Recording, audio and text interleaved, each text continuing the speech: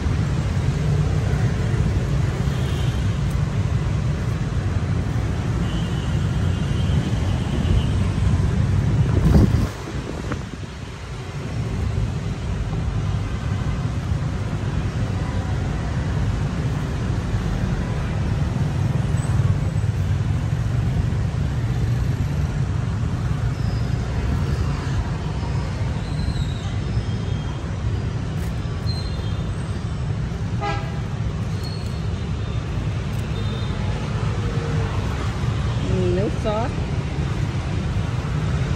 Nước rô tây gà